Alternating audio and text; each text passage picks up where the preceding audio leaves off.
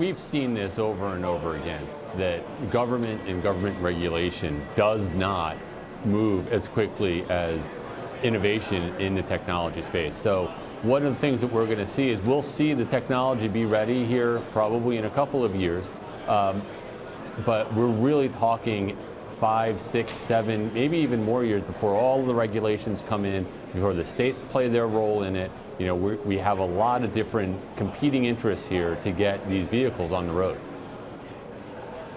David, Phil highlighted that quote from Elon Musk. Clearly, he's frustrated with the media and some of the reporting uh, on the crash and on his autopilot feature, which I understand because he's trying to send a message, and so are other automakers, that the solution of self-driving cars is going to be for safety, to promote safety, and this could end up sort of skewing that in consumer minds. Is he right to go after the media for this, for sort of conflating this issue, or are there some serious safety questions with his autopilot, which is seen as a precursor to self-driving cars?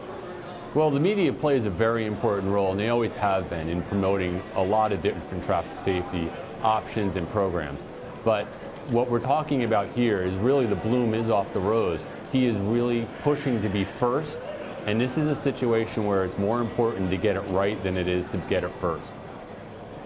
Yeah, I'm curious. Let me probe a little further. You said there are several things that need to be answered before the regulations can be put in place. What are those things? What do you what, do you, what would regulators look at specifically regarding autonomous cars? Well, NHTSA has put out some guidelines what they've from automakers to look at where they should things they should be looking at when they're going to go and try to uh, test these new vehicles. And outside of that role, outside of the, the pure safety aspect of the role, states have a large role to play in the licensing of drivers and the licensing of vehicles on their roadways. And what we're seeing in states like California right now, they're putting out their own guidelines and their own regulations. So we're going to have a real patchwork of different regulations and competing authorities here.